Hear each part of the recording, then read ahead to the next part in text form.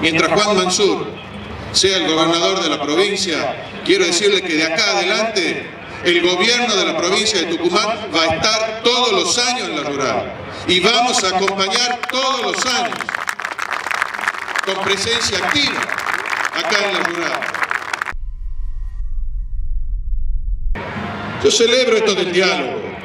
Yo soy un amante del diálogo. Soy un amante del consenso.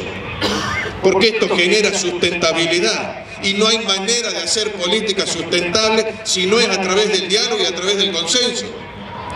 Todo lo que sea en beneficio de Tucumán, todo lo que sea que el gobierno nacional avance en beneficio de las economías regionales, ahí va a estar Tucumán, ahí voy a estar yo. Yo me levanto y me acuesto pensando que en Tucumán hay 28 mil personas, 28 mil familias que no tienen trabajo.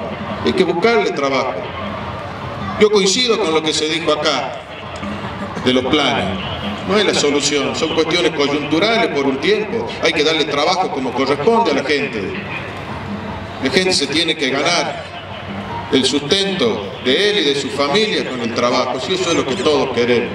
Y ahí es donde creo que tenemos que coincidir. Y a todos los socios, a todos los productores, a todos los que día a día dan trabajo en Tucumán, quiero decirles en nombre mío y en nombre del vicegobernador de la provincia que acá me acompaña, el contador Osvaldo Caldo, que cuenten con el gobierno de la provincia en su totalidad para producir, generar trabajo y bienestar para todos los tucumanos. Muchísimas gracias a todos.